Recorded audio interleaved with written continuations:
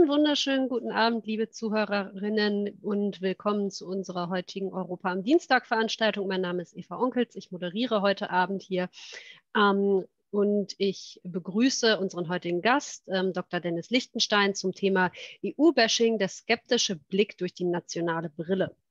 Ähm, Zunächst ähm, würde ich gerne äh, ein bisschen was zu unserer Reihe sagen. Die Europa am Dienstag-Reihe existiert jetzt seit ungefähr drei Jahren. Es gibt jeden Monat eine neue Veranstaltung. Es geht immer ähm, zu einem spezifischen EU-Thema im Dialog mit äh, Experten betreuen ich und meine Kollegen dann die Veranstaltung und lassen ihre Fragen und unsere Fragen gleichermaßen einführen. Das Ganze ist eine Kooperation zwischen Europe Direct Aachen und dem Europäischen Klassenzimmer der Ruth Charlemagne. Beide sind, wenn nicht gerade Corona ist, im äh, Grashaus, das ist gegenüber vom Dom. Ähm, und Beide Institutionen sind Anlaufpunkte für alles rund um das Thema Europa und Europäische Union. Da haben wir noch ein wenig was zum europäischen Klassenzimmer. Das ist nämlich auch Teil der sogenannten Route Charlemagne. Das, die führt zu bedeutenden Orten in Aachen und beleuchtet Aachen als europäische Stadt und als Stadt der Wissenschaft. Europe Direct gibt es mittlerweile seit 2005. Das ist ein Informationsbüro zur Europäischen Union. Die Mission oder die Aufgabe ist es, Europa den BürgerInnen näher zu bringen. Das Ganze wird durchgeführt von der Stadt Aachen und kofinanziert von der EU-Kommission. Schwerpunkte sind neben dieser Veranstaltung und ähnlichen Veranstaltungen vor allem das Thema Europa in der Schule. Dazu gibt es auch umfangreiches Informationsmaterial, das ist kostenlos, das können Lehrerinnen und Lehrer ganz einfach über europedirect-aachen.de bestellen und können das dann auch zugeschickt bekommen. Die nächsten anstehenden Veranstaltungen, ein schneller Überblick, das ist morgen der virtuelle Besuch bei der EASA, das ist die Europäische Agentur zu, zur Flugsicherheit oder für Flugsicherheit. Ähm, dann am 19.05. der virtuelle Besuch des Europäischen Gerichtshofs. Am 1.06. wird dann die Zentralbank besucht und am 8.6. wieder um 19 Uhr findet dann die nächste Europa am Dienstag Veranstaltung statt unter dem Titel Der Lobby-Dschungel in Brüssel. Ähm, ein, kurz etwas zur Technik über das Fragen- und Antworten-Tool, das Sie finden, wenn Sie mit der Maus an den unteren Rand Ihres Bildschirms gehen. Da steht F und A. Können Sie Fragen eintippen, die werden dann von mir aufgegriffen und an unseren Dozenten weitergegeben. So, und dann würde ich Herrn ähm, Dr. Dennis Lichtenstein noch einmal bitten, sich kurz vorzustellen, seine, seine Schwerpunkte zu beleuchten und dann starten wir auch direkt in die Veranstaltung. Viel Vergnügen. Ja, sehr gerne. Also dann hallo auch von meiner Seite. Ja, ich bin Dennis Lichtenstein. Ich bin ähm, ja, wissenschaftlicher Mitarbeiter für Medien- und Kommunikationswissenschaft an der Österreichischen Akademie der Wissenschaften in Wien und an der Universität in Klagenfurt. Das Institut ist also ein bisschen zweigeteilt in zwei, in zwei Standorten. Derzeit bin ich aber trotzdem äh, auch vor allem im Homeoffice, das wiederum in Hannover befindet, also geografisch auch ein bisschen verstreut aufgestellt. Gut, meine Schwerpunkte liegen in der politischen Kommunikation. Das ist ein breites Feld, das geht von Wahlkampfkommunikation bis zu Infotainment und Politikdarstellung in der Satire. Und ein Schwerpunkt darunter ist bei mir auch, das sind dabei auch Fragen der europäischen Öffentlichkeit und der Konstruktion europäischer Identitäten in den Medienarenen unterschiedlicher Nationalstaaten. Und das wäre im Grunde auch der Anknüpfungspunkt aus meiner Sicht für das Thema hier. Gut, soll ich dann schon mal schauen, dass ich die PowerPoint finde und den Bildschirm freigeben? Sehr gerne. Ah, ich glaube, ich habe aber die Rechte hier noch nicht.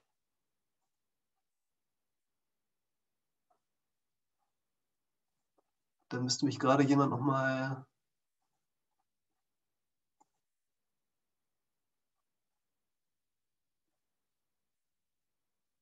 Ich gebe das mal eben an unsere Technik weiter. Entschuldigen ja. Sie bitte.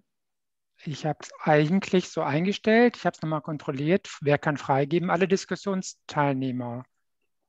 Wer kann, äh, sollte ich eigentlich. Nur, ich sehe nur die Meldung, Sie können die erweiterte Freigabeoption nicht ändern. Haben Sie denn die äh, PowerPoint ah, schon ja. direkt geöffnet? Entschuldigung, hier. Ja. Klappt? Okay, danke. Gut. Okay. So, dann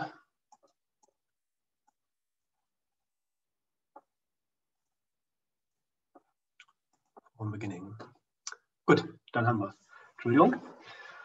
Gut, dann können wir starten. Also der Vortrag heißt EU-Bashing, der skeptische Blick durch die nationale Brille. Und es geht vor allem um EU-Kritik in nationalen Medienöffentlichkeiten. Und es geht auch um Polarisierungstendenzen zwischen und innerhalb der Länder, innerhalb der EU. Ich möchte den Vortrag gerne mit ein paar Eindrücken aus der derzeitigen Corona-Krise und der aktuellen EU-Kritik beginnen, bevor ich zu ein paar grundsätzlichen Fragen europäischer Öffentlichkeit und auch Prinzipien der EU-Berichterstattung komme. Viele Medien haben die Corona-Krise ja bereits sehr früh als eine gemeinsame europäische Krise definiert, die keine Grenzen kennt, die auch gemeinsames Handeln innerhalb der EU dringend erforderlich macht. Es war im Grunde der Moment, in dem Europa als Gemeinschaft gefragt war, auftreten sollte, sich beweisen konnte. Sie wissen alle, es kam zunächst erstmal etwas anders. Ähm, genauso wie die Mitgliedstaaten wurde auch die EU-Politik von der hereinbrechenden Pandemie kalt erwischt. Es fehlte an einer Strategie und vor allem fehlte es auch an schneller Handlungsfähigkeit. Die Länder hingegen haben völlig unkoordiniert die Grenzen geschlossen, Lieferungen medizinischer Ausrüstung in andere Länder verweigert. Und die EU ließ es geschehen, dass ihre zentralen Errungenschaften, also der gemeinsame Binnenmarkt und auch der Schengen-Raum, auf einmal in Frage gestellt waren. Zum Beispiel Bayerns Ministerpräsident Markus Söder hat zu all dem auf EU-Ebene ein irritierendes Schweigen wahrgenommen. Und in dieser Hinsicht stand er nicht alleine da. Von vielen Seiten, zum Beispiel von ehemaligen EU-Politikern wie Jean-Claude Juncker ähm, und auch von zahlreichen nationalen Regierungen kam viel Kritik, kam wurde die Krise und die Reaktion der EU als eine tödliche Gefahr für die Gemeinschaft gesehen. Der europäische Geist war in Gefahr gewähnt. Und insbesondere die südlichen EU-Staaten wie Spanien, Italien und Frankreich, die von der Krise auch besonders hart gebeutelt waren erstmal, fühlten sich von der Gemeinschaft im Stich gelassen. Kommissionspräsidentin Ursula von der Leyen hat auf die Warnung und die Enttäuschung reagiert mit Kritik an nationalen Alleingängen, mit einer öffentlichen Entschuldigung für das Fehlen europäischer Initiativen zu Beginn der Krise und mit der Ankündigung, auf Basis des geplanten Wiederaufbaufonds ein neues Europa zu schaffen. Ein Europa, das resilient sein sollte, nachhaltig sein soll, digital aufgestellt und das es schafft, gesellschaftliche Spaltungen zu überwinden. Nach diesem Moment ging es allerdings mit der Negativberichterstattung weiter. Denn bei den Verhandlungen um die Finanzierung der Aufbauhilfen und auch um das äh, dazu verwendete EU-Budget sind erneut die Konflikte zwischen den Ländern aufgebrochen und in den Medien ist wieder das Bild einer gespaltenen Gemeinschaft aufgetaucht und in den Vordergrund gerückt. Auch bei der Beschaffung und der Verteilung von Impfstoffen über, ähm, über die EU ähm, hat es harte Kritik gegeben. Es war von einem Impfbasar die Rede, einer Zweiklassenunion und öffentliche Zweifel an den Fähigkeiten und den Kompetenzen der EU-Politikerinnen und Politiker sind bis heute nicht abgerissen. Der kritische und zum Teil auch überaus vernichtende öffentliche Blick auf die EU schreibt hier besonders intensiv noch einmal eine Tendenz fort, die wir auch in den letzten zehn Jahren schon häufiger haben erleben müssen. Und zwar nach einer eigentlich sehr langen, erfolgreichen Phase der EU mit Tendenzen der Erfolge, des Wachstums, der Vertiefung, über Maastricht, die Einführung des Euros, die Osterweiterung, äh, beschreiben die Medien spätestens seit dem Scheitern des EU-Verfassungsvertrages 2005 die EU vor allem als eine Gemeinschaft in der Krise. Das trifft insbesondere für die letzten zehn Jahre zu, mit der Finanzkrise und der Eurokrise und äh, mehreren weiteren Disruptionen hat sich, EU, hat sich die EU vor allem ja, in im Sturm gezeigt, äh, von Erschütterungen geprägt und der politische Streit zur EU hat sich intensiviert. Vieles geht dabei auch in den Medien über eine eigentlich erwünschenswerte kritische Öffentlichkeit zur europäischen Politik hinaus. Also über eine Politik, die ähm, Ereignisse auf der EU-Ebene kritisch hinterfragt und Politik kontrolliert. Es wird vielmehr die Systemfrage gestellt. Es wird also der Ausstieg aus dem Euro oder gleich aus der ganzen EU gefordert. Die Legitimität von Kommission und Parlament werden in Frage gestellt. Und die EU gilt in der Berichterstattung oft als undemokratisch. Solidarität wird häufig lautstark zurückgewiesen. Und es sind eben häufig gerade die Grundlagen und die Grundwerte der Gemeinschaft, die zur Disposition gestellt werden. Auch zwischen den Ländern überwiegt, zumindest in der medialen Berichterstattung, der Streit. Hier ein paar Eindrücke noch aus der Euro-Krise, wo es besonders intensiv war. Weitere Verwerfungen betreffen die Aufnahme von Flüchtlingen in der Migrationskrise, auch den Streit um die demokratische Verfasstheit von Ungarn und Polen. Und in der aktuellen Covid-19-Krise geht es dann wieder um das Ausmaß von Solidarität beziehungsweise um die Vergemeinschaftung von Schulden. Dabei ist ja eine Politisierung der EU, also die wachsende Aufmerksamkeit für die EU und der öffentliche Streit um EU-Themen, eigentlich eine gute Entwicklung. In der Europaforschung haben wir über eine sehr lange Zeit einen gefährlichen Mangel an Öffentlichkeit kritisiert. Das berühmt gewordene Schlagwort ist der permissive Konsens, also eine weitgehend passive Zurückhaltung, eine passive Zustimmung ähm, zur europäischen Integration. Man wusste, Europa findet statt, aber es hat relativ wenig interessiert in der Bevölkerung und auch in den Medien. Die EU war zu bürokratisch, zu technokratisch, die Prozesse waren zu langwierig, es gab zu wenig Ereignispolitik und insgesamt hat Europa zu wenig Nachrichtenwert mitgebracht. Das sieht man etwa in der Aufstellung oder in der Grafik auch noch ganz gut, wenn Sie hier den Blick auf die unterste Linie werfen. Hier hat der Soziologe Jürgen Gerhards einmal ausgewertet, wie groß der Anteil der medialen Aufmerksamkeit über die Zeit ist im Vergleich zur Berichterstattung über Themen in Deutschland und über andere internationale Beziehungen. Und der Wert ist eigentlich insgesamt für die Zeit vor Maastricht erschreckend gering. Das hat sich in den vergangenen Jahrzehnten zumindest drastisch geändert. Man kann also inzwischen auch von einer Art europäischen Öffentlichkeit sprechen. Europäische Öffentlichkeit hat die Funktion, EU-Politik transparent zu machen, eine öffentliche Meinungsbildung zu ermöglichen. Sie soll Entscheidungsprozesse in EU-weite Diskurse einbringen, also auch europäische Sprecher an ein europäisches Publikum rückbinden und ihren Entscheidungen damit auch Legitimität geben. Öffentlichkeit ist nicht zuletzt also ein Forum, in dem europäische Identität mitkonstruiert wird. Sie entscheidet mit über Zugehörigkeit und über Zusammengehörigkeit innerhalb der Gemeinschaft. Und als Kern der europäischen Öffentlichkeit wird nach wie vor immer noch die Ebene der Massenmedien mitgesehen. Auf dieser Ebene gewinnt ähm, europäische Öffentlichkeit Permanenz und ja, wird institutionalisiert. Und genau an dieser Stelle beginnen dann auch die Probleme, was die Struktur europäischer Öffentlichkeit anbelangt. Europäische Öffentlichkeit funktioniert ja nicht ohne weiteres genau nach der Blaupause der nationalen Öffentlichkeiten, also etwa über eine gemeinsame massenmediale Ebene auf supranationaler Ebene mit gemeinsam geteilten Medien. Versuche in dieser, in dieser Ebene, in dieser Richtung gab es in der Vergangenheit immer mal wieder. Ein prominentes Beispiel wäre The, European von Robert Maxwell, gegründet 1990. Der Plan war zunächst, eine paneuropäische Tageszeitung auf den Markt zu bringen, die in drei Sprachen erscheint. Erschienen ist das Ganze dann tatsächlich schon nur als eine englischsprachige Wochenzeitung.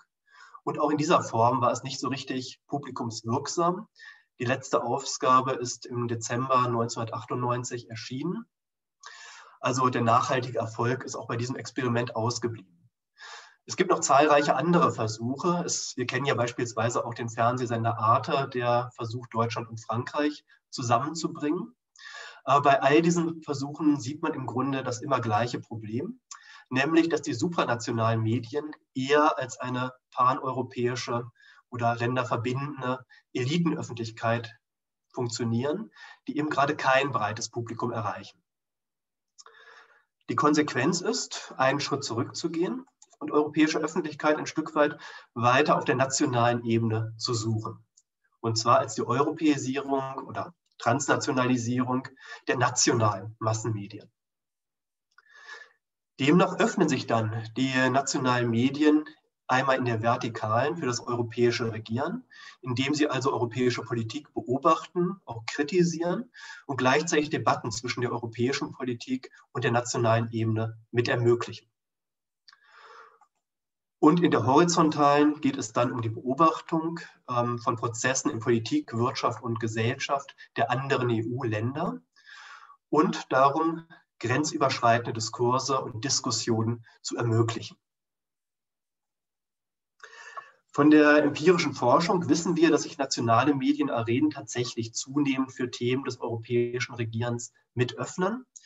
Transnationale Diskurse sind auch möglich. Zumindest gelingt immer mal wieder der Blick über den Gartenzaun. Und äh, gerade bei Konfliktereignissen intensivieren sich auch ähm, die Diskussionen zwischen Ländern. In einer vor allem aber versäulten oder national segmentierten Struktur europäischer Öffentlichkeit gelten aber weiter die Logiken nationaler Berichterstattung, die für national unterschiedliche Relevanzzuordnungen bei europäischen Themen und auch für national unterschiedliche Interpretationen mit sorgen.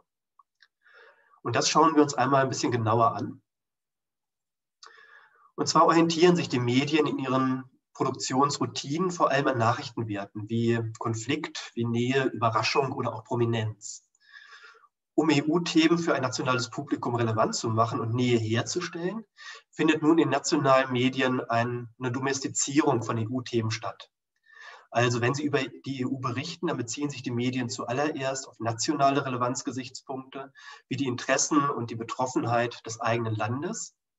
Als Quellen beziehen sich wesentlich auf die Öffentlichkeitssprecher aus der jeweils eigenen Nation, also die jeweils eigenen Regierungen zuallererst, während die EU-Vertreter und auch die Regierungen anderer Länder zwar oft Gegenstände der Kommunikation sind, über die wird gesprochen, aber sie kommen nicht so häufig selbst zu Wort.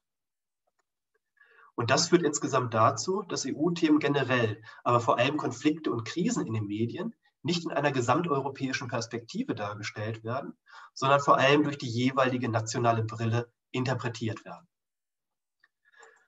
Die Medien legen außerdem einen starken Fokus auf Negativität und auf besonders spektakuläre Nachrichten, während Prozesse in der Gesetzgebung etwa, die weniger Spektakuläres mit sich bringen, komplett untergehen. Statt der Konsensfähigkeit und der Fähigkeit der EU, Probleme zu lösen, stehen nun vor allem Misswirtschaft, Skandale, Streit oder auch Krisen im Vordergrund der Berichterstattung. Und dazu stellen die Medien eben auch häufig die Systemfrage, wie man es aus der nationalen Politik fast überhaupt nicht kennt. Bezogen auf den Bestand des Euros oder auch bezogen auf die Legitimität der Kommissionspräsidentin. Domestizierung und Negativismus sind nicht ganz unverbunden miteinander, sondern in der kritischen und domestizierten Öffentlichkeit zur EU haben EU-Politiker kaum eine Stimme, auch weil ihnen häufig auch die Anreize fehlen, in die Arenen der nationalen Massenmedien mit einzutauchen, mit einzugreifen. Das ist bei nationalen Politikerinnen und Politikern ganz anders. Sie sind die ersten Ansprechpartner der Medien und es ist üblich, dass sich die nationale Politik erstmal Erfolge selbst zuschreibt, Misserfolge aber eher auf der Ebene der EU verortet. Und tatsächlich können Schuld und Verantwortung von der nationalen Politik leicht und ungestraft nach außen beziehungsweise auf die EU-Ebene abgegeben werden.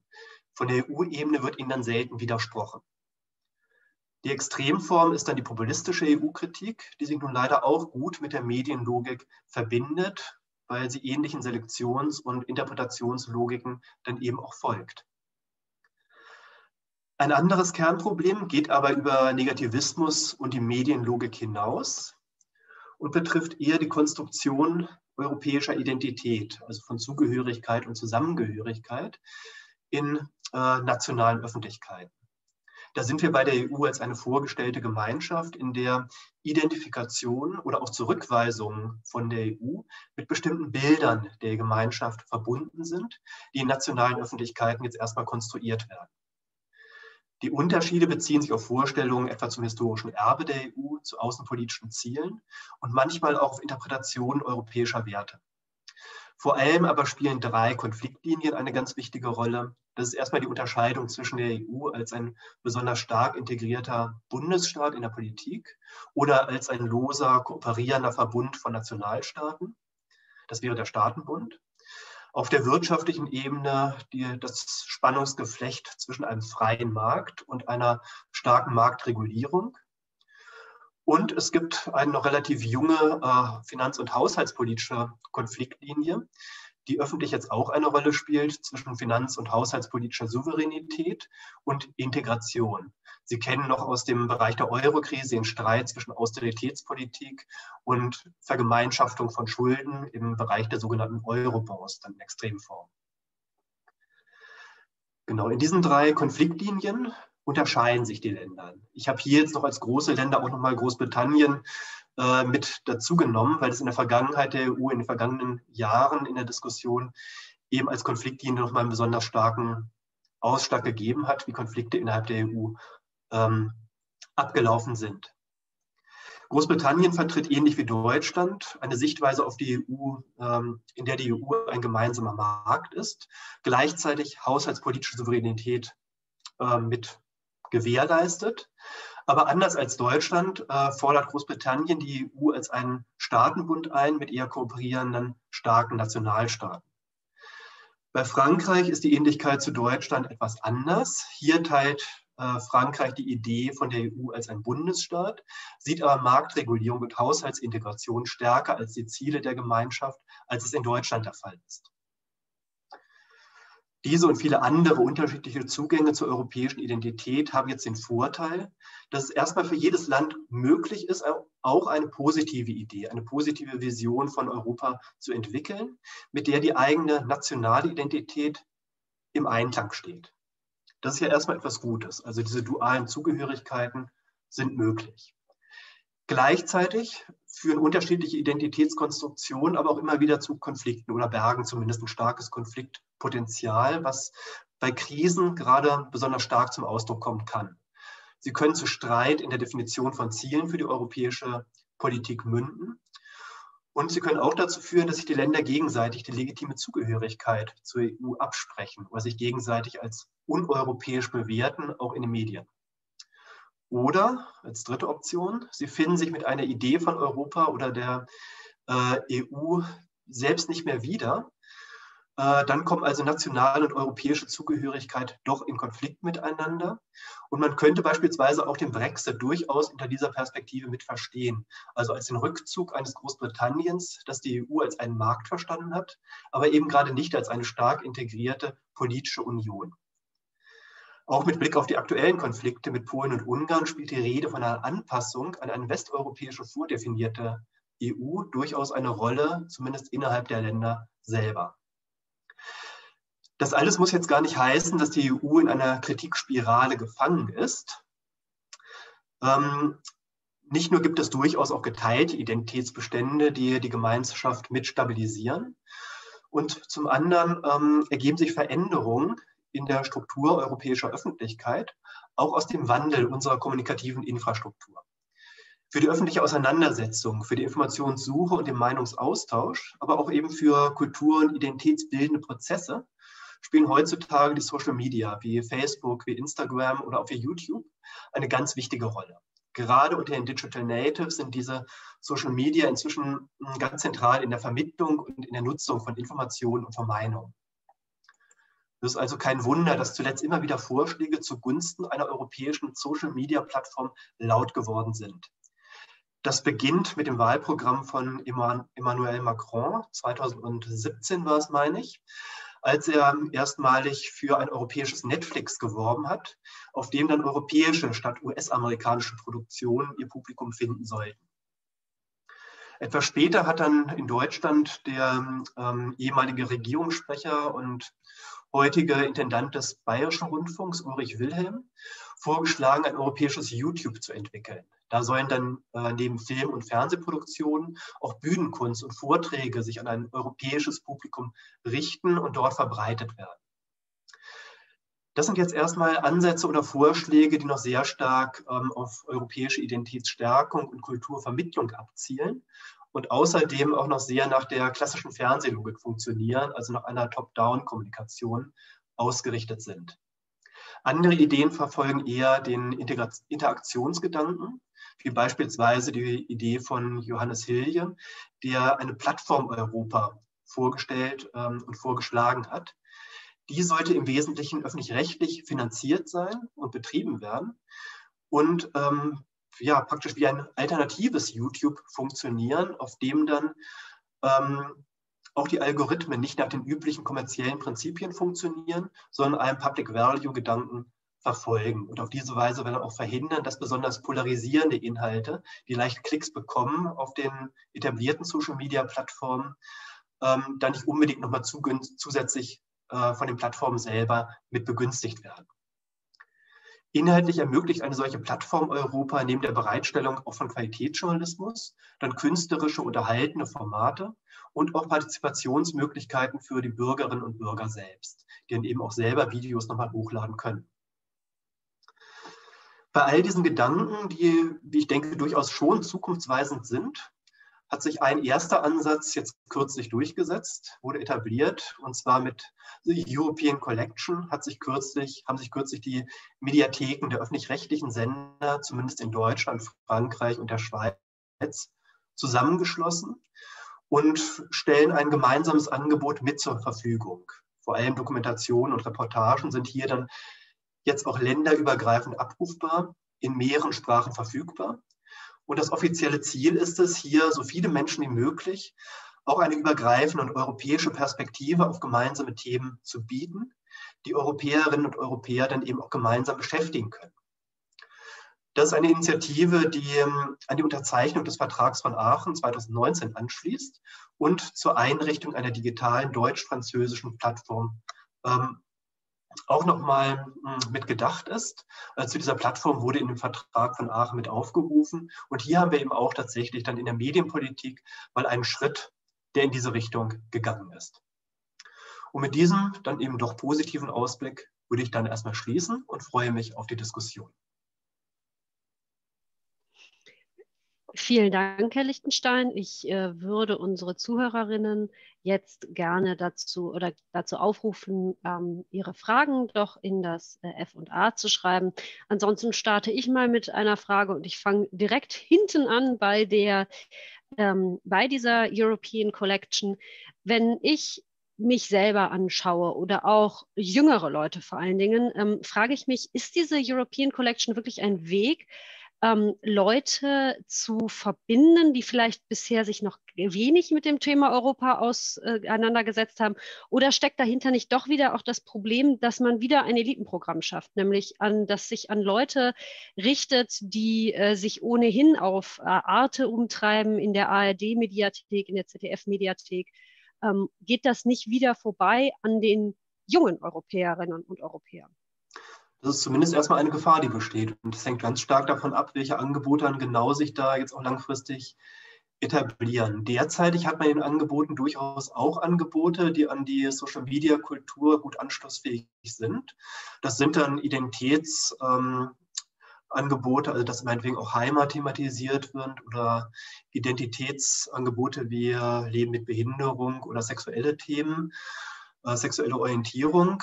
Ähm, und das sind ja im Grunde auch Themen, die auf den Social-Media-Plattformen und auch in den Jugendangeboten, wenn wir meinetwegen an die Plattform Funk als Angebot für öffentlich-rechtlichen Angebote im Moment denken, dann eben auch sehr erfolgreich sind, hier ein junges Publikum erreichen.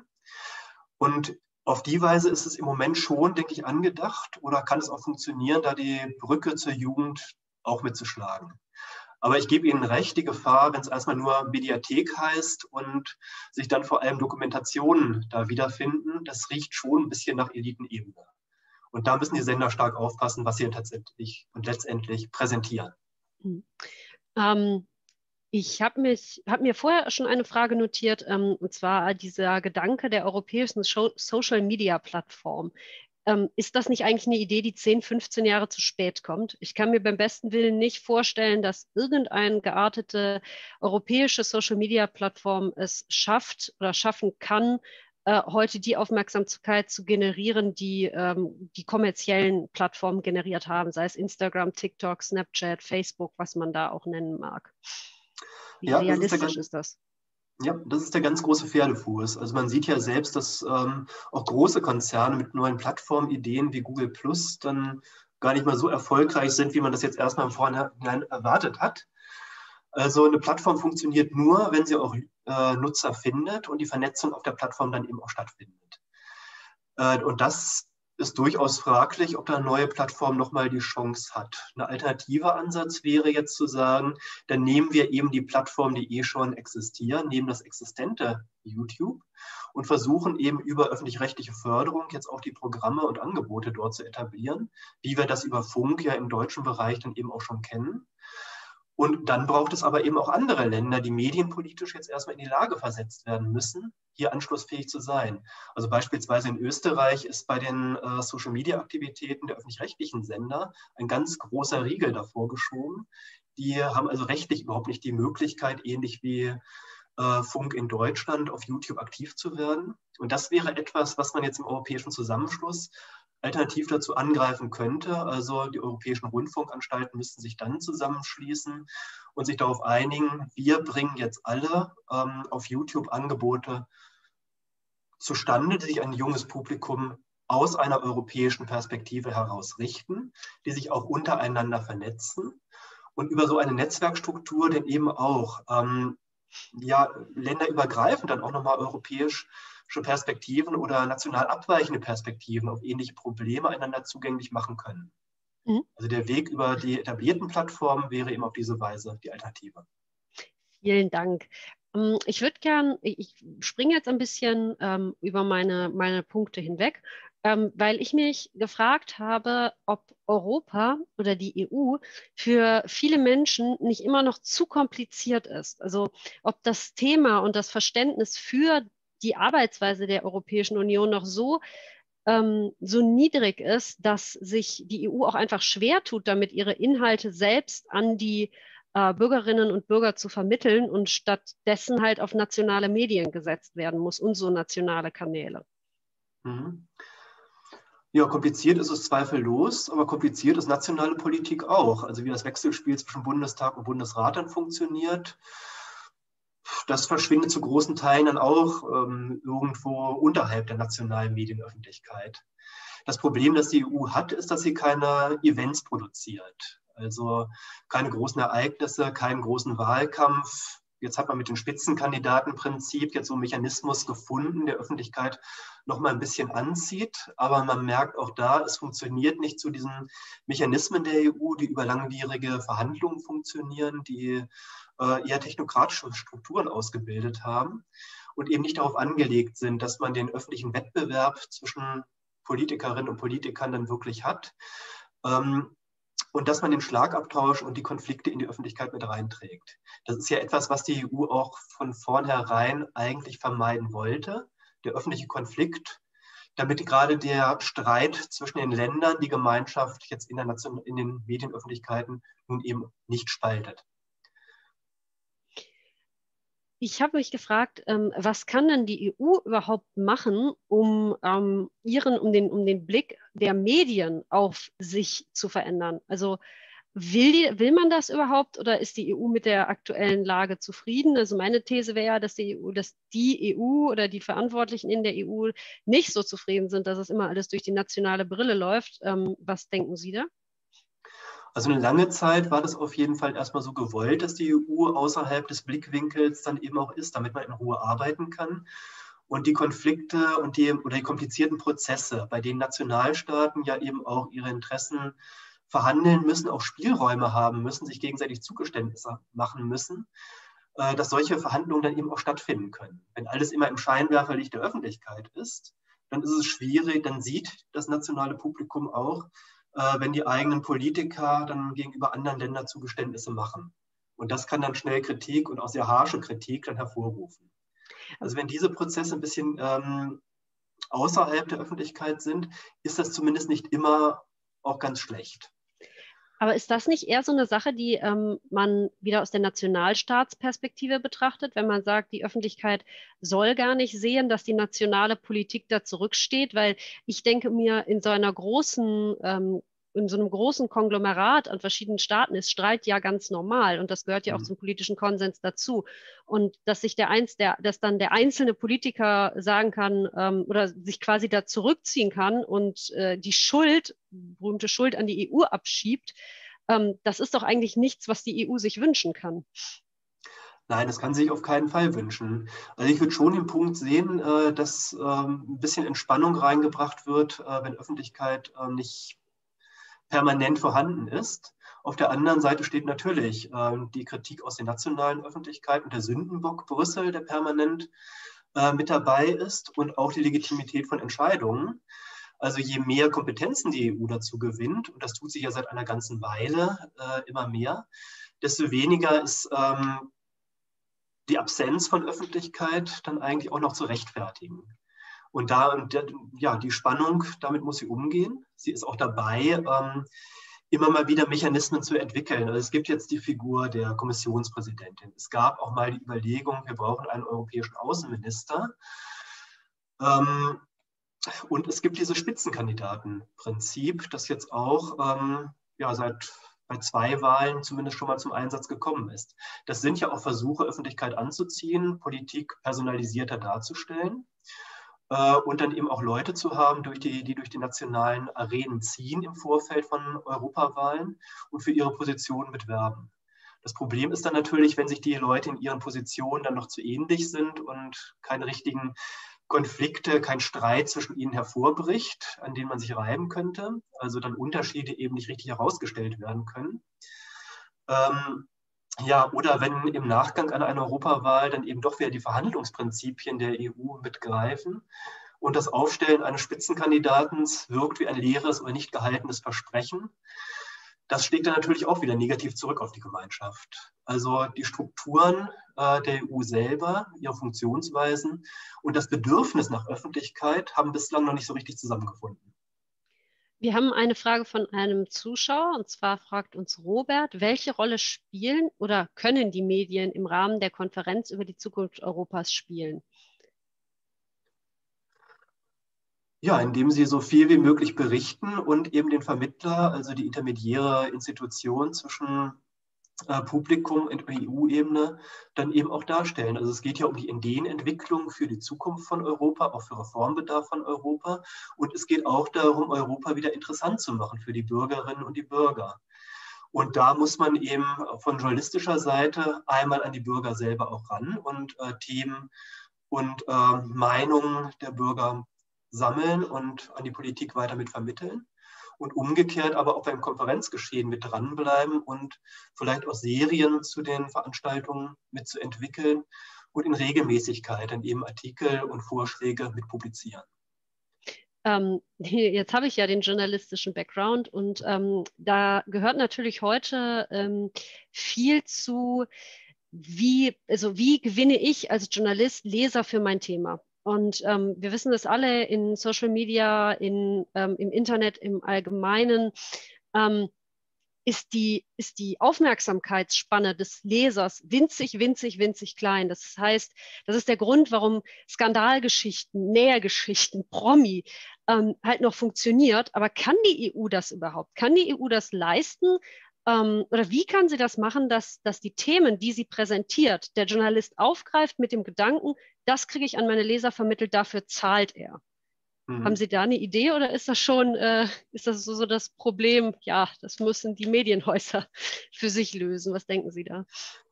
Ja, die EU ist nicht prädestiniert dafür, das Problem zu lösen. Also das ist, da kommt sie den Journalisten und Journalistinnen tatsächlich auch nicht hinreichend entgegen in der derzeitigen Struktur.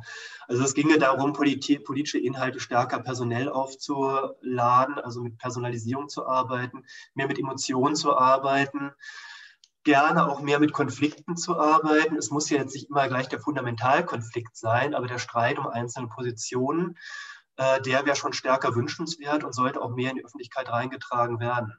Ja.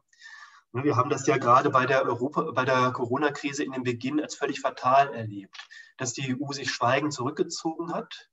Da kann man immer noch entschuldigend sagen, gut, die hat jetzt äh, im Gesundheitsbereich nicht die ganz großen Kompetenzen. Und äh, sie ist auch darauf angewiesen in ihrem Krisenmanagement. Also ihr Krisenmanagement ist darauf angelegt, dass sie die Nationalstaaten unterstützt. Sie soll nicht den Prozess übernehmen. Das ist erstmal eine Regel. Ähm, und in ihrem Funktionieren im Krisenmanagement ist sie auf das Kooperieren der Nationalstaaten mit angewiesen. Das heißt, wenn sie jetzt zu entschieden auftritt, anfängt, äh, Staaten zurechtzuweisen für das Schließen von Grenzen, dann kann sich auch diese Kooperationsbereitschaft sehr schnell verspielen.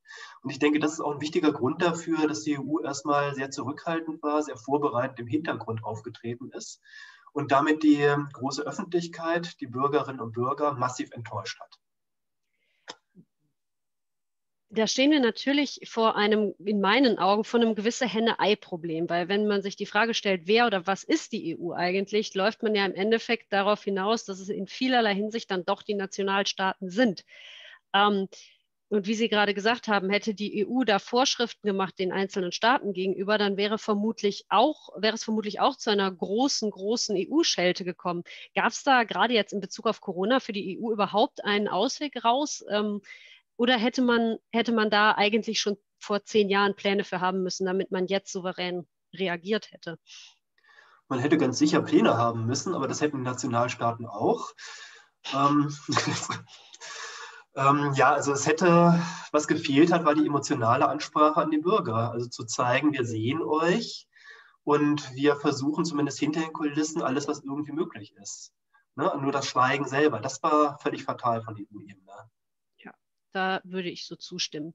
Wir haben weitere Anmerkungen und Fragen ähm, von Zuschauern. So fragt uns Ruth. Vielleicht könnte ein europäisches Sprachrohr in den jeweiligen nationalen, örtlichen Medien direkt, also lokalen Medien direkt veröffentlichen. Ich denke mir, das quasi so als Sonderseite EU Thema oder hier spricht die EU oder sowas. Ist das, äh, was denken Sie zu so einer, zu so einer ähm, Aktion oder ist das ein zu tiefer Eingriff in Presse- und Medienfreiheit? Naja, also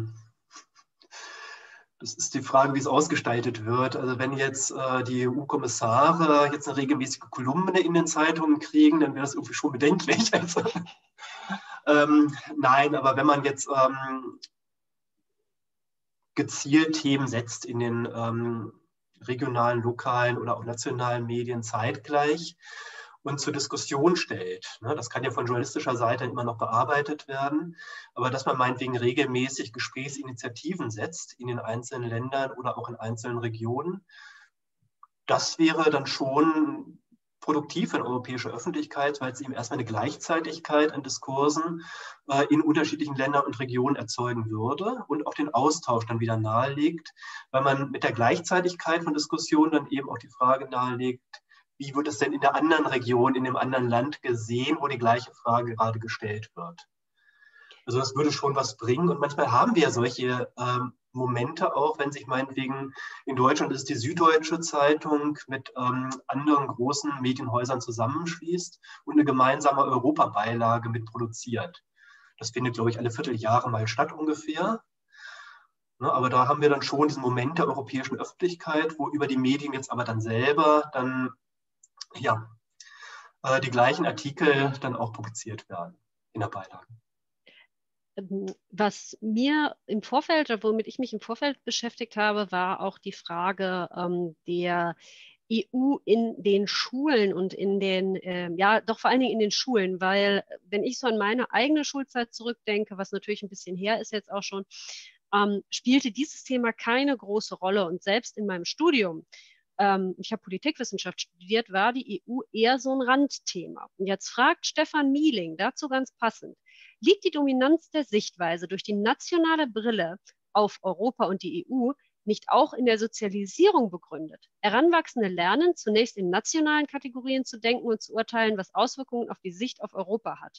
Müsste nicht in nationalen und europäischen Kategorien gleichzeitig gedacht und geurteilt werden und dies auch der jungen Generation vermittelt werden? Ja. Nein, also diese An äh, die Initiativen stärker in die Schulen reinzugehen, die sind jetzt auch nicht so ganz frisch. Also es gab auch schon mal die Praxis, ein deutsch-französisches Schulbuch, ich glaube über Geschichte war das sogar, ähm, rauszubringen und auf die Weise dann eben Publika nochmal zu, oder Schüler unterschiedlicher Länder miteinander zu verbinden. Ähm, Ideenwettbewerbe gibt es auch, äh, die in die Schulen reingetragen werden. Ich weiß gar nicht hundertprozentig, wie der Unterricht jetzt in der täglichen Praxis heute aussieht, in den, zumindest bei den Schulen, die über Grundschule hinausgehen. Ähm, ich nehme an, dass durchaus schon Europa ein bisschen mehr stattfindet, als ich das selber im Unterricht kennengelernt habe. Zumindest erlebe ich das mit den ähm, Perspektiven und auch mit dem Wissen, was meine Studentinnen und Studenten mitbringen, wenn ich die heute in Kursen habe. Also die sind über Europa schon informierter, auch ein bisschen aufgeschlossener. Und was man vielleicht auch noch sagen kann, wäre, dass äh, die ähm, Offenheit für Europa auch häufig dann in der späteren Sozialisation noch kommt, ein bisschen auch nachgeholt werden kann. gerade wenn es dann in die Erasmus-Programme reingeht, also ne, wenn man eben auch sich europäisch bewegt, sei es in der Ausbildung oder sei es dann später auf dem Arbeitsmarkt. Und da sieht man auch, dass diese Bevölkerungsgruppen, die dann auf diese Weise besonders stark eben auch von Europa profitieren, dann auch die größten Europabefürworter sind in den Umfragen. Hm, das ist vielleicht eine Anmerkung, vielleicht eine Frage. Sie sprachen gerade von einem deutsch-französischen Schulbuch und da werde ich persönlich immer hellhörig, weil ich gar kein Französisch in der Schule hatte. Ähm, wäre es da nicht sinnvoller, ähm, dass, also ich weiß, dass es das gibt, ähm, dass die EU Broschüren rausgibt für Schulen und Schüler unterschiedlicher Jahrgangsstufen, also für die Grundschule bis zum Abitur. Ähm, und dass vieles davon in wirklich allen Sprachen der Europäischen Union, wenige Sachen nur auf Deutsch und Englisch, manchmal noch Deutsch, Englisch, Französisch. Ähm, wäre das nicht vielleicht eine bessere Idee als so quasi so, so, so eine Partnerschaft zu machen, Deutsch-Französisch, sondern dass man ein Buch, dass die EU ein Buch entwickelt für Schulen, ähm, das für alle gleich ist. Ähm, dass man nicht so wieder zwei Länder heraushebt. Das war so, so ein Gedanke, der mir da gerade in dem Zusammenhang gekommen ist. Mhm. Ja, das wäre auf jeden Fall eine spannende Idee. Also es ist möglicherweise ist es einmal ein Kostengesichtspunkt, aber das wird sich vermutlich lösen lassen über die einen. Das lässt sich sicher lösen. Ähm, Vielleicht ist es noch eher ein Problem, äh, dass die Lehrer und Lehrerinnen das dann eben auch vermitteln müssen. Das sind dann Leute, die haben eine französische Revolution meinetwegen aus der französischen Perspektive gelernt. Oder auch wenn wir zu Themen wie Nationalsozialismus kommen, das aus der europäischen Perspektive nur zu erzählen. Ne, das muss erstmal mit dem ähm, kulturell auch bei den Lehrerinnen und Lehrern andocken können und kann sich eben auch mit nationalen Erinnerungskulturen dann teilweise beißen. Wir haben also gerade beim Bereich Nationalsozialismus haben wir hier diesen ganz spannenden Fall, dass wir eben auch diesen Holocaust-Gedenktag innerhalb von Europa haben, was aber nicht aufgebaut ist als ein Deutschland hat Schuld-Gedenktag, sondern eher als ein Gedenktag der geteilten Schuld. Also auch die französische Bevölkerung erinnert sich an die Kollaboration mit den Nazis und auch andere Länder. Ne? Also da haben wir diesen europäischen Gedanken der geteilten Schuld mit im Vordergrund gestellt bei dem Gedenktag was aber eben auf dem osteuropäischen Pflaster dann eben stellenweise auch schon wieder zu Problemen führt, weil da viele Länder eben diesen Gedanken, wir haben Mitschuld, gar nicht mal so ohne weiteres mittragen können, beziehungsweise dann eben auch die Frage stellen, warum gibt es jetzt den Europäischen Holocaust-Gedenktag und was ist eigentlich mit den Verbrechen des Kommunismus? Also Ne, bei der Erinnerungskultur, gerade in diesen geschichtlichen Fragen, ist eine zusätzliche europäische Dimension, glaube ich, was ganz Wichtiges, was mitvermittelt werden muss in den Schulen. Aber als Ersatz für die nationalen Erinnerungskulturen ist es schwer vorstellbar. Das ist ein Add-on. Ähm, ne, vielen Dank für den äh, Input zu so einer. Also mir war das selber nicht bewusst, dass es der Gedenktag der geteilten Schuld ist. Ähm, und da würde ich gerne die Frage daran anschließen, wie also da, da geht es ja auch um eine Frage des Wertekanons. Gibt es den Ihrer Meinung nach überhaupt oder hätte man da, müsste man da ähm, viel differenzierter auf die einzelnen ähm, Nationalstaaten, die einzelnen Mitgliedstaaten der EU schauen? Was meinen Sie da? Ja, also Wertekanon, es gibt einen gemeinsamen, relativ abstrakten Wertekanon, der meinetwegen mit Frieden, mit Demokratie auch funktioniert, mit Rechtsstaatlichkeit. Da gibt es jetzt einzelne Länder, bei denen man das momentan so ein bisschen in Abrede dann eben auch stellt und bei denen auch das Europäischsein auf diese Weise so ein bisschen in Zweifel gerät in der öffentlichen Diskussion. Ähm, generell kann man aber sagen, ja, es gibt schon Werte, auf die sich im Namen dann eben alle verständigen können und wie die genau ausgefüllt werden, ausgelebt werden. Das unterscheidet sich dann zwischen den Nationalstaaten aber doch nochmal wohl um einiges. Man hat das ja auch mal versucht bei dieser berühmten europäischen Verfassung, die 2005 eben auch in Referenten akzeptiert werden sollte. Und es hat einen wahnsinnig langen Prozess dann im Vorhinein gegeben, gerade um Fragen über eine Präambel, in der dann gemeinsame Werte, gemeinsame historische Bezüge festgehalten äh, werden sollten. Und was das an Diskussion und Streit dann eben ausgelöst hat. Beispielsweise auch die Frage, braucht diese Verfassung Gottesbezug? Stellenweise in manchen Ländern völlig undenkbar. Ne, also da sieht man, der europäische Stoff unterscheidet sich zwischen den Ländern dann eben doch erheblich, ist aber eben zumindest was abstrakte Werte angeht, dann erstmal doch wieder konsensfähig. Ein äh, anonymer Zuschauer fragt uns, könnten trans transnationale Listen der Fraktionen im Europaparlament eine bessere Öffentlichkeit in ganz Europa äh, erzeugen?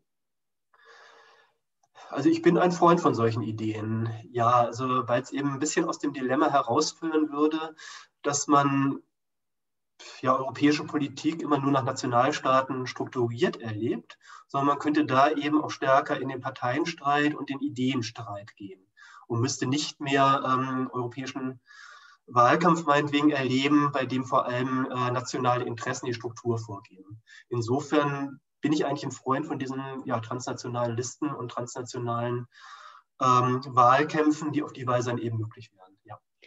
Denken Sie, das würde auch mediale Kommunikation verändern, so eine transnationale Liste? Oder anders Aufmerksamkeit für die äh, EU generieren? Es bräuchte dann eben auch Politikerinnen und Politiker, die öffentlichkeitswirksam sind, in den nationalen äh, Medienarenen eben auch vertreten sind. Und das kann dann ja pro Land auch wieder ein anderer Politiker, andere Politikerin dann eben auch mit sein.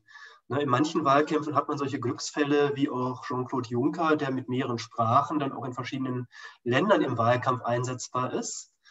Ne, aber grundsätzlich wäre ja, Kern eigentlich, dass die Nachrichtenwerte mitgebracht werden, also dass die Listen dann eben auch in Konflikt zueinander gehen und dass Politik auch personalisierbar wird. Ähm, ich würde jetzt auf eine weitere Frage von einem anonymen Zuschauer oder einer, einer anonymen Zuschauerin eingehen, ähm, die die Rolle des EU-Parlaments anspricht. Sie haben ja gerade schon äh, Jean-Claude Juncker erwähnt und wir haben auch Frau von der Leyens Namen hier heute schon gehört. Und äh, besagte Zuschauerin sagt, ich halte das EU-Parlament mit seiner öffentlichen Wahrnehmung von allen EU-Institutionen schon recht präsent und auch, oft für öffentlichkeitswirksam. Also die, das EU-Parlament als öffentlichkeitswirksames Organ. Ähm, ich würde sagen, ja, das Parlament ist aktiver geworden, es ist sichtbarer geworden. Aber würden Sie sagen, dass die zum Vergleich zur, zur Kommission in den Medien das Parlament eine große Rolle spielt oder ist es doch immer noch die Kommission? Also ja, aus meiner Sicht ist es vor allem der Europäische Rat, der öffentlich präsent ist, weil da die bekannten Nationalstaaten dann eben sitzen und zumindest vom Eindruck, dass ja nicht nur vom Eindruck, das Organ ist, das die meiste Entscheidungskompetenz, die meiste Entscheidungsgewalt noch immer mitbringt.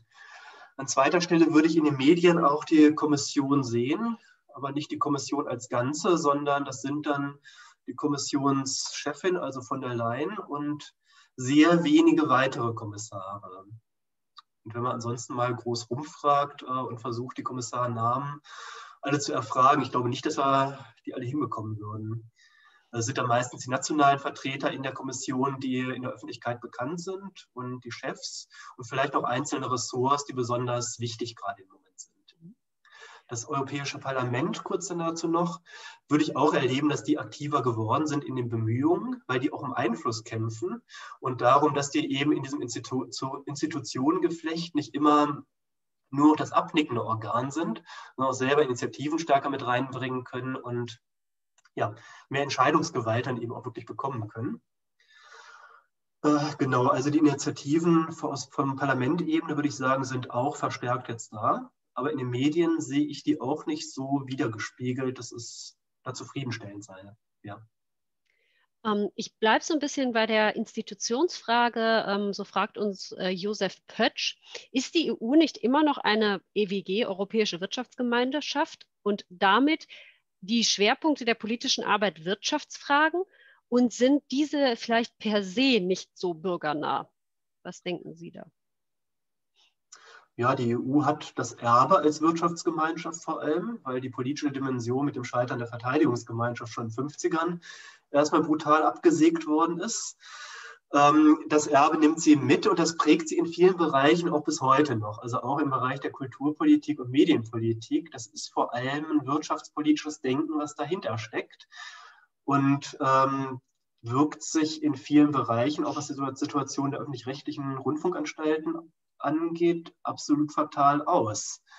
Nichtsdestotrotz hat sie mittlerweile so viele politische Kompetenzen mit dazu gewonnen. Ähm, auch im Gesundheitsbereich will ich davon ausgehen, dass nach Corona da nochmal die Kompetenzen mit ansteigen.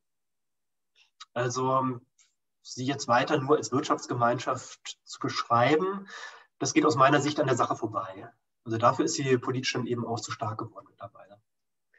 Ähm, ist es vielleicht so, dass Wirtschaftsthemen ähm, und ich nenne es mal die große Politik ähm, vielleicht auch einfach in den Medien aufgrund der Nachrichtenwerte mehr Aufmerksamkeit erfahren als die vielen Sachen, die die EU geschafft hat, die sie wirklich direkte Auswirkungen auf das Leben der Bürgerinnen und Bürger haben. Also ich denke da ganz, ganz konkret an den Wegfall der Roaming-Gebühren, weil das uns als jüngere Generation massiv betrifft, aber auch an, ähm, an viele Fragen im Verbraucherschutz, bei, bei Reisen, beim, bei Versicherungen, äh, Netflix. Ähm, sind das vielleicht einfach Themen, die an den Medien vorbeigehen, weil sie nicht die Aufmerksamkeit generieren? Ja, vielleicht. Und vor allem die Entscheidungsprozesse, dass man eben zur ähm, den Entscheidungen dann auch hinkommt, die sind langwierig, die sind kompliziert und die finden eben gerade nicht im Medium der Öffentlichkeit statt. Und das ist auch ein bisschen was anderes als im Bereich der, auf der nationalen Ebene, wo ja auch schon vor allem die äh, praktizierte Politik und die Ereignispolitik im Vordergrund steht und weniger die komplizierten Gesetzesverhandlungen und das Klein-Klein zwischen den Parteien. Also selbst auf nationaler Ebene haben wir den Effekt. Und auf der EU-Ebene, wo jetzt auch noch die Ereignispolitik weitgehend wegfällt, ist es natürlich nochmal dann deutlicher. Also da, ja. Ähm, wir haben äh, gleich drei Fragen von Gerd Einsmann, die alle in eine ähnliche Richtung gehen. Ähm, ich fange mal einfach mit einer Frage an. Und zwar fragt er, ob die Regierungen der EU-Staaten im Aufbau der EU nicht nach wie vor zu viel Gewicht haben. Das ist ja so eine Klassikerfrage, äh, die stelle ich auch immer gerne. Sind die Nationalstaaten nicht in der EU weiterhin einfach zu stark? Kann die EU da überhaupt was dran tun? Was ist da Ihre Meinung? Ja, das sind nach wie vor die starken Akteure. Man muss es so sehen. Und das ist in vielen Bereichen ja eben auch ein echtes Hindernis, was Reformprozesse der EU mit angeht. Ja, es ist eine Meinung, die ich erstmal so teilen würde. Und die Frage, wie man da rauskommt, die ist natürlich überhaupt nicht einfach zu beantworten, weil eben gerade die kleinen Nationalstaaten auch ähm, ja gerade das, ja, also mit kleinen Nationalstaaten ist es dann eben immer die Gefahr, wenn man jetzt ähm, nur von der EU-Ebene ausgehen würde und meinetwegen äh, von Stimmverhältnissen von europaweiten Parteien, dass man da als Lettland oder auch als Litauen schnell in der nationalen Form eben auch völlig untergeht, weil egal welche Partei da eben jetzt gerade ähm, gewählt wird, man selber wird da so wenige Vertreter mit drin haben, dass die eigene Relevanz eben weitgehend schwindet. Und umgekehrt geben die großen Nationalstaaten wie Deutschland, wie Frankreich ihr Schwergewicht natürlich auch ungern aus der Hand. Also der Weg, sich da rauszuverhandeln aus der Dominanz immer noch der großen National der Nationalstaaten, den sehe ich leider auch nicht. Also Reform schwierig an der Stelle. Ja, absolut. Ähm, also das kann höchstens ähm, über solche Krisenmomente ein Stück weit abverhandelt werden, wie wir es in der Euro-Krise ja auch gesehen haben. Ne, also da haben wir ja auch diese Mechanismen, dass ähm, der, Rettung, der permanente Rettungsschirm eingeführt worden ist, über Eurobonds zumindest gesprochen wurde. Eine Bankenaufsicht ist mit, auf, ist mit eingeführt. Also es gibt ja durchaus Bewegungen, die in solchen Krisenmomenten dann vonstatten gehen und bei denen sich auch dann die größeren Staaten von ein paar Kompetenzen dann wieder, wenn auch Zähne knirschen, trennen. Ähm, die, die dritte Frage von Herrn Einsmann, die zweite bezog sich auf die Reform, ähm, bezieht sich, wenn ich sie richtig verstehe, auf ähm, den Ausschuss der Regionen. Den gibt es auch in der EU. Das ist ein, so ein, für unsere Zuschauer, das ist ein, äh, ein kleinerer Ausschuss. Ist super spannend zu, äh, zu besuchen, wenn man mal zum Tag der offenen Tür in Brüssel ist, kann ich nur empfehlen. Ähm, und Herr Einsmann fragt, ob die Regionen, die in Brüssel präsent sind, nicht in der öffentlichen Wahrnehmung untergehen und zu wenig Gewicht haben. Also nicht der Blick auf das Nationale, sondern auf die Region und wie die Region profitiert. Weil ich glaube, jeder würde zustimmen, wenn ich sage, wir hier in der Städteregion haben einen ganz anderen Bezug zu Europa und zu dem, was Europa tut, als zum Beispiel die Lausitz. Ähm, müsste man da nicht auch noch viel genauer hingucken aufs Regionale, aufs Lokale und sagen, das tut die EU ganz konkret hier vor Ort und macht das die EU? Ja, das wäre wunderbar, natürlich. Also auch solche Regionen wie Kiel und Straßburg, die ja eigentlich im, in der täglichen Praxis schon eine sehr starke Einheit sind ähm, sollten genau als solche dann eben in der Öffentlichkeit auch stärker auftreten, auch gemeinsame Probleme dann eben stärker artikulieren. Also das wäre erstmal die Öffentlichkeitsarbeit an die ähm, ja, Kommunen, an die Städte mit runter selber als Aufforderung. Ähm, umgekehrt ist aber auch der Blick der Medien gerade in diese Bereiche natürlich dann nochmal mit einzufordern. Wir kennen das aus Corona so ein bisschen, wenn wir die gesperrten Grenzübergänge dann auf einmal haben, die Arbeitswege über die Grenze auf einmal ein Problem werden. In dem Moment ist die Lebenswirklichkeit, die grenzüberschreitende Lebenswirklichkeit der Menschen ja in diesen Regionen dann durchaus im Blick. Und das müsste auch in Routinezeit nochmal stärker zum Ausdruck kommen und auch stärker vielleicht mit Initiativen für ja, Forderungen nach Verbesserung der Lebenswirklichkeit ähm, Umstände, nach gemeinsamen Projekten dann vielleicht auch. Hm. Das könnte stärker in der Öffentlichkeit sich nochmal niederschlagen. Ja. Denken Sie, ähm, dass die Medien äh, sich, sich zu sehr auf die negativen und schwierigen Probleme der EU konzentrieren? Das fragt uns Ruth.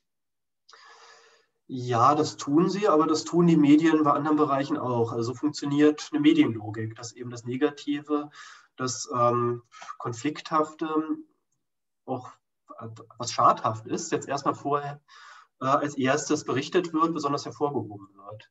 Das ist jetzt nichts, was man den Medien unbedingt vorwerfen kann, sondern es ist vor allem menschliche Aufmerksamkeitsfunktion. Also wenn ich eine Auswahl an Artikeln habe und bei einem steht was mit Unglück und bei anderem beim anderen steht eine positive Überschrift, dann werde ich auch erstmal das Negative lesen. Also das ist irgendwie unser kognitiver Apparat funktioniert.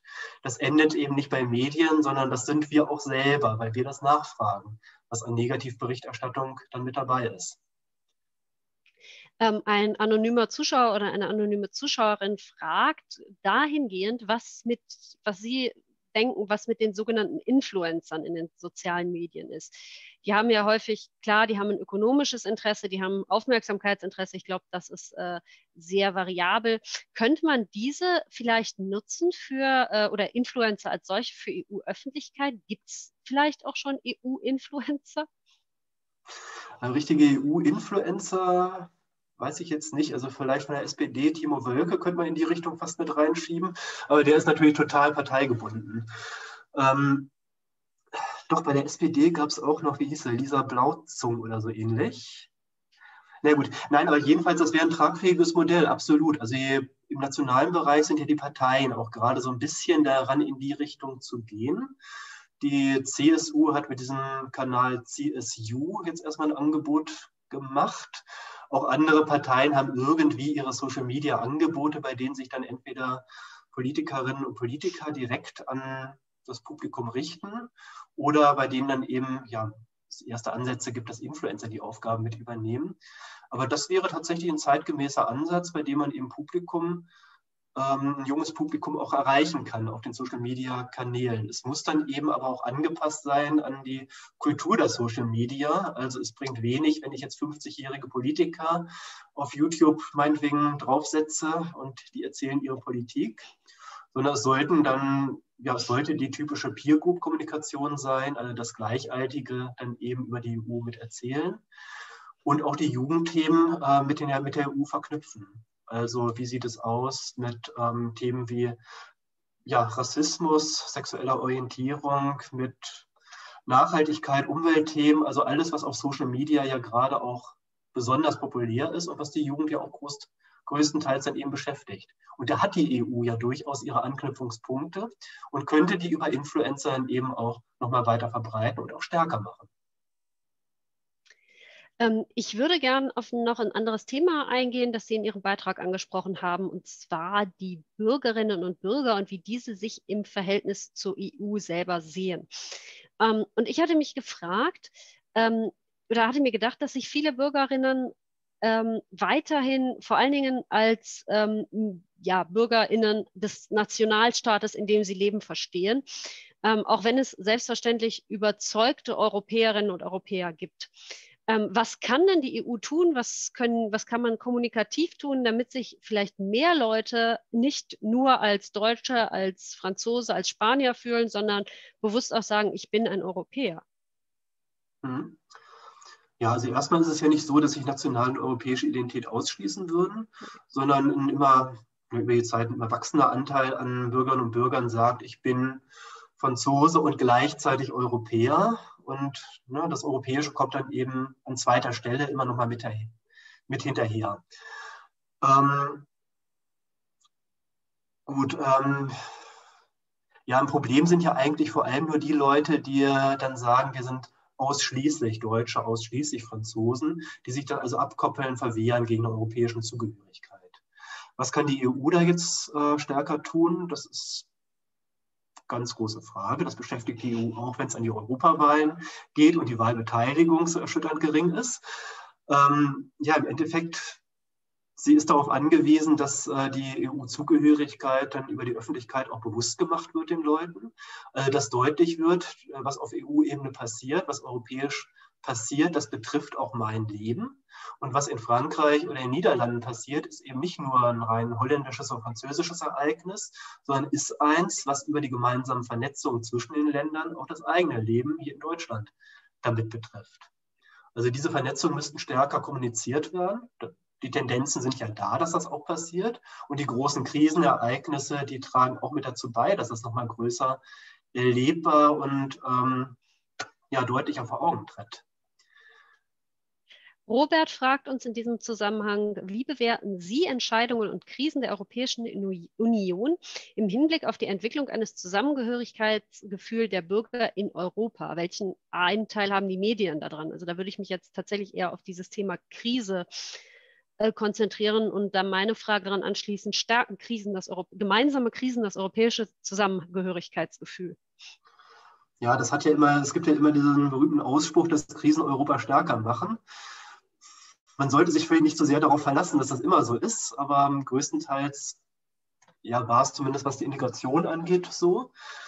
Ähm, Im Rahmen der Euro-Krise hat man erstmal auf Höhepunkten der Krisen auch in vielen Ländern Einbruch der Zugehörigkeitsgefühle der Menschen erlebt, weil auch Erschütterung da war, meinetwegen, dass die EU einerseits eben nicht als solidarisch erlebt worden ist, andererseits aber als zu solidarisch, dass sie erlebt wurde, als hier verkaufen wir unsere demokratischen Werte, indem da meinetwegen äh, Expertenregierungen in Griechenland oder in anderen Ländern auf den Plan gerufen wurde ähm, und die Länder dann eben auch ihrer Selbstständigkeit zumindest ein Stück weit ähm, hier Einschränkungen erleben mussten.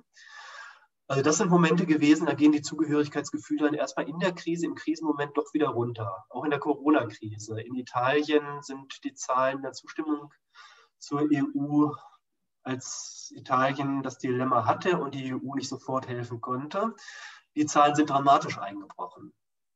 So, aber in der Regel bleibt es nicht da, sondern nach der Krise gibt es dann eben auch wieder einen Aufschwung an Zugehörigkeitsgefühlen.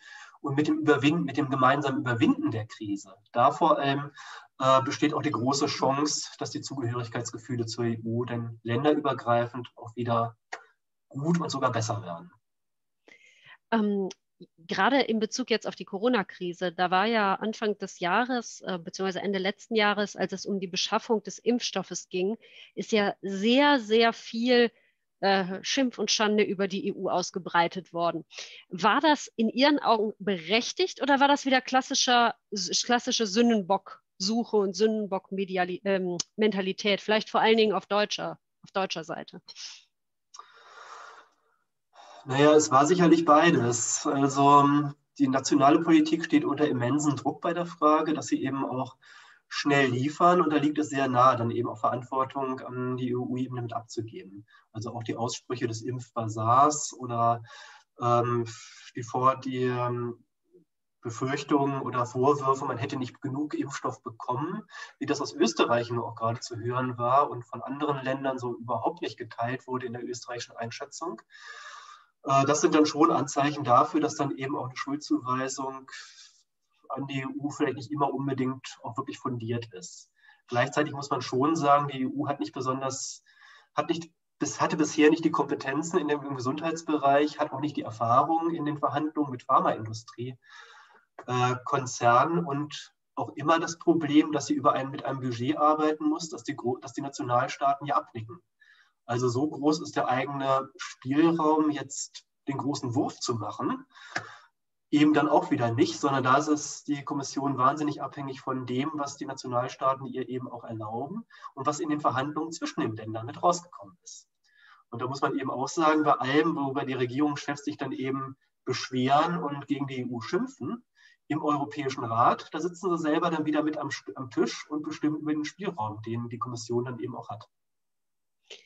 Ähm, Gerd Einsmann fragt uns, wieso hält sich die Mehr, das passt in diesen Bereich rein, wieso hält sich die Mehr von der übergroßen Bürokratie der EU, die es in seinen Augen so gar nicht gibt, so hartnäckig? Also ich denke da an so Sachen wie diese ähm, legendäre Gurkenverordnung, die es ja schon seit Jahren nicht mehr gibt. Ich glaube schon seit Jahrzehnten mittlerweile nicht mehr und die immer noch hergehalten wird. Hier, das ist die EU so bürokratisch, die bestimmen, welche welche äh, Krümmungsgrad unsere Gurken haben möchte. Wieso hält sich sowas? Mhm.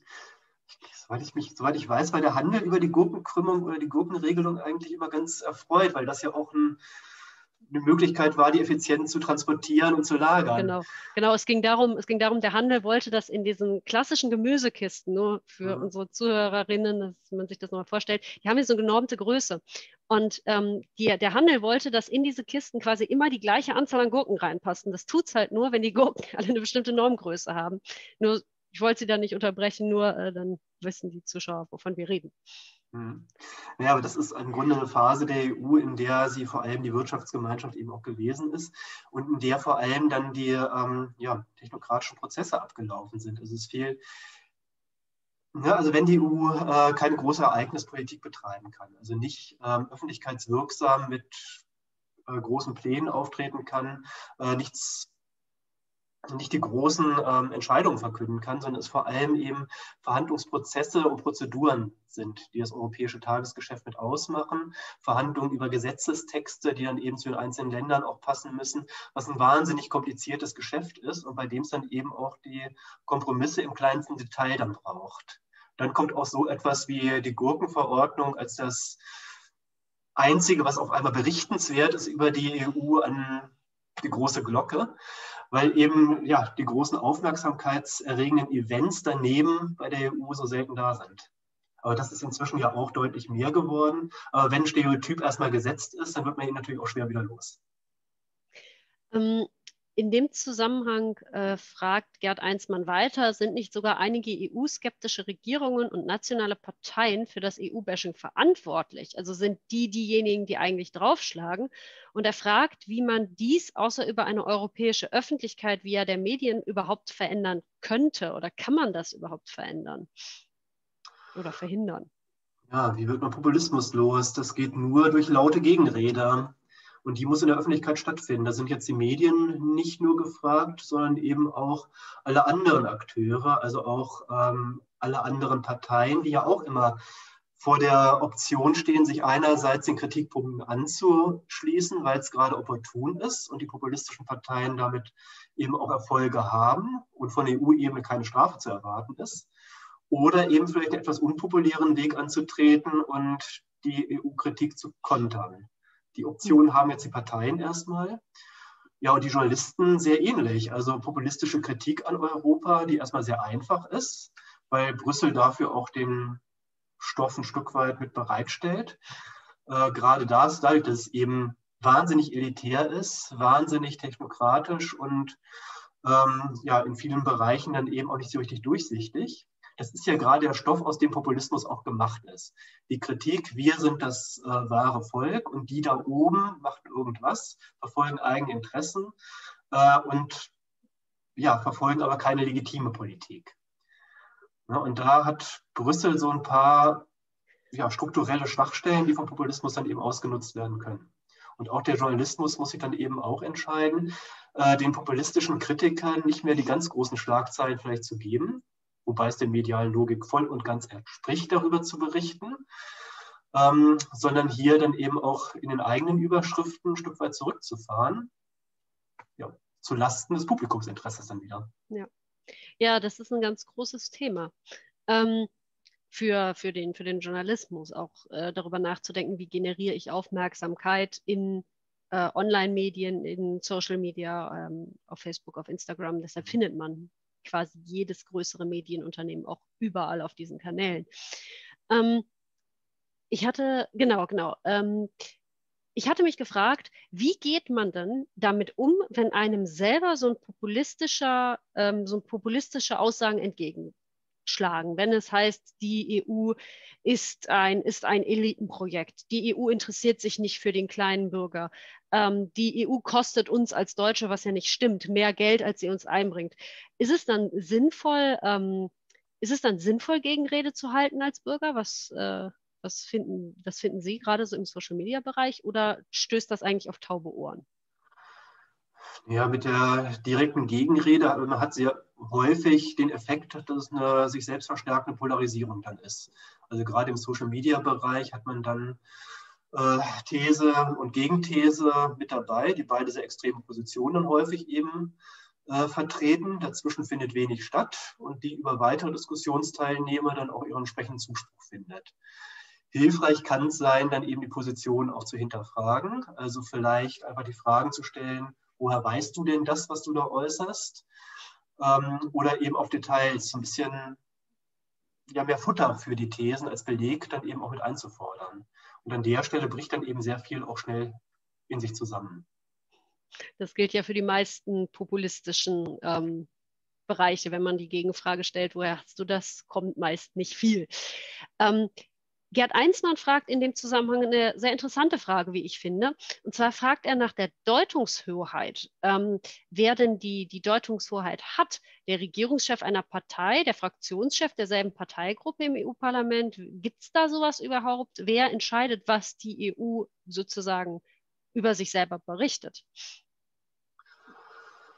Also, was sie berichtet in der Öffentlichkeitsarbeit jetzt vor allem, das sind eigentlich auch eine Vielzahl von Akteuren. Also die Kommission hat natürlich ihre eigene Öffentlichkeitsarbeit erstmal. Das ist das, was ist ein großer Presseapparat, der ähm, dann erstmal viel Funktion mit einnimmt.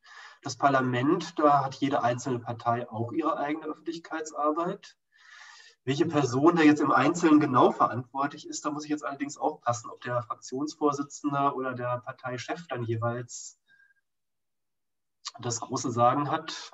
Das ist wahrscheinlich bei den Parteien auch erstmal so einigermaßen umkämpft. Ich glaube nicht, dass es da jetzt die ganz klare Zuständigkeit gibt. Das ist der Politiker, die Politikerin, die sagen kann, was dann eben an die Presse geschickt wird. Und in letzter Instanz ist die Presse natürlich in Brüssel selber auch als Beobachterin tätig. Also man hat ja da auch Journalisten, die ähm, sich Sitzungen angucken und anhören und dann berichten, was in diesen Sitzungen passiert ist. Das muss man natürlich an der Stelle auch mal sagen. Ähm, da wir noch zehn Minuten laut Zeitplan haben, würde ich äh, gerne nochmal unsere Zuschauer bitten, wenn sie noch Fragen haben, schreiben Sie diese jetzt gerne nochmal in das F&A rein. Ähm, dann können wir die noch beantworten. Ähm, ich muss mich mal eben durch meine eigenen äh, Notizen hier wühlen. Mhm. ähm, denken Sie, dass es eine Möglichkeit gibt, diese nationale Brille, die, ähm, die die Medien haben, zu verändern? Also weg von der, von der nationalen Ebene hin zu einer transnationalen Ebene oder eben zu besagter regionaler Ebene, zu sagen, das gilt für unsere Region nicht nur in Deutschland, sondern in unserem Fall die Region Maas-Rhein. Ähm, nein, denke ich, ist schwierig und ist vielleicht auch gar nicht mal unbedingt so gewollt. Weil es geht ja immer noch darum, dass das Leben vor Ort auch mit Europa in Verbindung gebracht werden kann. Dass da eine Konsistenz hergestellt wird, auch über die Medienberichterstattung. Und da ist es wichtig, dass äh, die nationale Perspektive, auch die regionale Perspektive, die ja für die Leute eben auch die direkte Betroffenheit jetzt erstmal ist, die allererste Betroffenheit, gerade ähm, was den Wohnort dann angeht. Äh, dass das jetzt nicht verloren geht oder sich auflöst in einer ganz, ganzheitlichen europäischen Perspektive. Das würde ja nur dazu führen, dass sich die Leute überhaupt nicht mehr betroffen fühlen und äh, sich aus dem Mediendiskurs dann ausklinken. Aber wichtig wäre es eben, dass auch die ähm, regionalen und die nationalen Medien mehr und mehr, und das tun sie ja auch, die europäische Perspektive mitdenken.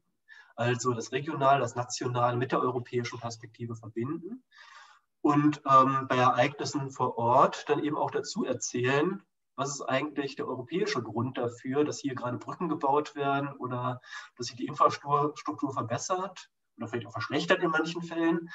Ne? Also dass man die Wechselwirkung zwischen Region und ähm, Europa dann eben auch permanent im Hinterkopf als Journalist hat. Da kann ich äh, auch nur an unsere Zuschauer appellieren, wenn Sie Bauprojekte sehen, schauen Sie mal auf die großen Schilder. Ähm, da steht häufig dran, wenn die von der EU mitsubventioniert worden sind. Oder auch äh, gerade so im Bereich Wanderwege und ähm, Infostände und Naturschutz ist auch ganz, ganz häufig die EU Mitfinan äh, Mitfinanzierer. Ähm, und es gibt im Übrigen ähm, im Internet eine Seite, ich glaube, die heißt What Does the EU for Me? Was tut die EU für mich? Die finden Sie auch, wenn Sie die auf Deutsch suchen. Ähm, und da stellt die EU ganz konkret vor, was in unserer Region, also in der Region, in der Sie leben, in der wir leben, die EU tatsächlich tut. Da gibt es auch einen speziellen Reiter für Aachen, da gibt es einen für Düren, da gibt es einen für den Kreis Heinsberg. Da kann man sich mal durchklicken und sich angucken, was da so passiert. Das ist eigentlich eine schöne Sache. Ähm, eine, ein anonymer Zuschauerin fragt, was schafft einen umfassenden EU-Blick bei Bürgerinnen und Bürgern? Doch am ehesten persönliche Begegnung mit anderen Kulturen und Sprachen. Also sollte in Ihren Augen oder seinen Augen das Erasmus-Programm zum Beispiel verstärkt werden. Was könnte man dann noch tun? Ja, also Erasmus ist eine wahnsinnige Triebkraft für europäische Öffentlichkeit. Das würde ich ganz genauso sehen. Äh, und die Begegnungen, na gut, im Moment ist es ein bisschen schwierig mit den Begegnungen, das ist nicht Schuld der EU ausnahmsweise. Ähm, genau, also man könnte versuchen, natürlich auf Schulebene auch nochmal stärker den europäischen Austausch mit anzuregen ähm, und auch ja in anderen Gesellschaftsbereichen. Also wir haben mit Erasmus auch immer die einigermaßen gut ausgebildeten mit dabei, die dann quer durch Europa geschickt werden in ihrem Studium. Aber was ist denn mit denen, die ihre Lehre machen beispielsweise? Oder ja, die ähm, direkt anfangen zu arbeiten. Also diesen Schritt ins Studium eigentlich überhaupt nicht machen. Für die bräuchte es dann auch nochmal parallele und ähnliche Angebote und vermutlich auch für später dann Arbeitnehmerinnen und Arbeitnehmer. Also ich kann mir gut vorstellen, dass zum Beispiel äh, Austausch im Rahmen des Erasmus-Programms zwischen Journalisten, zwischen Ärzten, zwischen Wissenschaftlern ganz klar, äh, aber auch zwischen, zwischen klassischen Handwerkern ähm, da viel äh, Einfluss haben könnte, zu gucken, wie arbeiten andere Leute und mit diesen in Kontakt zu treten. Ähm, eine letzte Frage habe ich noch ausstehen und zwar nochmal von äh, Gerd Einsmann, ähm, der sich nochmal auf das Thema Bürokratie ähm, äh, auf das Thema Bürokratie gestürzt hat und fragt, ob nicht vielfach die Umsetzungsbürokratie der Mitgliedstaaten ein Problem in der Kommunikation der EU ist. Also dass gar nicht so sehr die EU das bürokratische Element ist, sondern dann die Frage, wie setzt der Nationalstaat den Beschluss der EU jetzt konkret um? Ja, das spielt sicherlich vielerorts auch mit rein, ja. Also dass eben EU-Regelungen dann genommen werden und durch die Umsetzung in, der, in Nationalstaaten ad absurdum geführt werden. Ich meine, mit den Glascontainern gab es das, das in einigen Ländern, dass man da von EU-Ebene das Gebot hatte, man muss die Glasfarben dann eben auch trennen. Und in einigen Ländern wurden dann die Container aufgestellt, wo alles in den gleichen Behälter wieder reinfließt, aber oben unterschiedliche Einwurfschichten hat. Also da ist dann natürlich die Regelung zwar umgesetzt, aber in der Umsetzung einfach Quatsch und Brüssel sieht blöd aus, wenn rauskommt, das ist auf Druck von Brüssel dann ebenso umgesetzt worden. Jetzt als total profanes Beispiel. Ähm, bei anderen Sachen ist es dann natürlich auch die Verschleppung von Umsetzungen äh, auf nationalstaatlicher Ebene, was der EU dann in der Öffentlichkeit möglicherweise in eben fälschlicherweise als Versagen zugeordnet wird. Ja, die Fälle gibt es natürlich. Mhm. Ähm, und ich würde gerne mit der Frage enden, was denken Sie denn? Wird über lang, also jetzt über einen längeren Zeitraum gedacht, die nächsten 15 Jahre, die Kommunikation da der EU besser werden? Wird sie, wird sie positiver werden oder wird sie auch in 10 Jahren, 15 Jahren immer noch mit den gleichen Problemen kämpfen wie jetzt mit dem, mit dem, ich benutze mal dieses Wort mit dem Bashing durch Nationalstaaten, die sich vielleicht davon erhoffen, äh, die Schuld von sich selber wegschieben zu können. Ich denke schon, dass, sie, dass die EU auch weiterhin, auch in den nächsten 15 Jahren, mit dem Problem unterschiedlicher nationaler Identitäten und kultureller Resonanzböden dann eben zu kämpfen hat und eben nicht mit jedem Nationalstaat auf gleiche Weise konfliktfrei kommunizieren kann. Ich denke auch, dass die EU weiterhin äh, mit negativer Berichterstattung zu kämpfen haben wird. Und alles andere wäre ja auch fatal. Wir wollen ja keine kritikfreie Öffentlichkeit. Aber es sollte eben nicht unbedingt das Bashing sein. Es muss nicht immer gleich das ganze System in Frage gestellt werden, sondern es sollte eine kritisch kontrollierende Öffentlichkeit sein. Und ich glaube schon, dass die EU da in der nächsten Zeit auch Entwicklungen machen wird, schlicht und ergreifend, weil sie muss. Der Druck vom Parlament ist da äh, und ja, die ähm, politischen ähm, Kompetenzen, die werden auch weiterhin vielleicht mit Konflikten, vielleicht auch nur schrittweise, aber sie werden weiter wachsen. Und das erfordert dann eben auch die Legitimität einer demokratischen Öffentlichkeit. Sie kommt also nicht, die EU kommt nicht darum herum, äh, so ein bisschen mehr Transparenz dann eben auch zuzulassen, sich personenwirksamer, ereigniswirksamer eben auch selbst aufzustellen und dann Medienlogiken mit zu bedienen. Vielen Dank, Herr Lichtenstein, für das Gespräch. Vielen Dank an unsere Zuschauerinnen und Zuschauer für die Aufmerksamkeit für unseren heutigen Abend. Ich erinnere nochmal an unsere nächste Veranstaltung am 8.6., der Lobby-Dschungel in Brüssel, wieder um 19 Uhr, dann mit Pia Eberhardt vom Corporate Europe Observatory CEO. Ähm, ich hoffe, Sie haben bis dahin eine gute Zeit und freue mich, wenn wir Sie dann an diesem Abend wieder, be wieder begrüßen können. Vielen herzlichen Dank. Einen schönen Abend noch. Vielen Dank. Schönen Abend.